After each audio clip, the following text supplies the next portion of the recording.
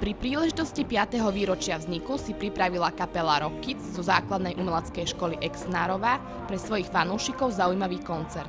Tento koncert je vynimočný aj tým, že spolu s nimi hrá aj malý slačikový orchester, sú to členovia Slovenského národného divadla Slovenskej filharmonie. Je to niečo nové, ale tým, že oni sú už vlastne profesionáli, takže a my už akože sme na nejakej tej úrovni, tak dalo sa akože nejak komunikovať s nimi a myslím, že je v pohodičke po spolupráca.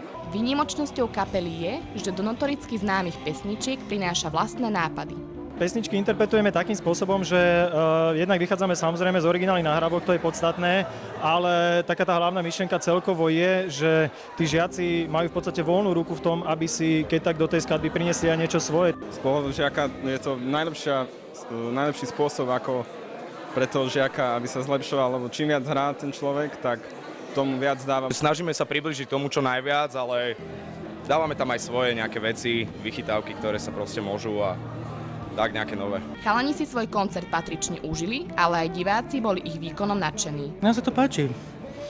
Čiže trošku, trošku si aspoň uh, uh, sa nejako do histórie vrátime, lebo tiež sme vyrastali trošku z rokového prostredia, takže si to pripomenieme aspoň. Naozaj som veľmi prekvapený, aké sú šikovní títo chalani. Pre televíziu Ružinov Mariana Šebová.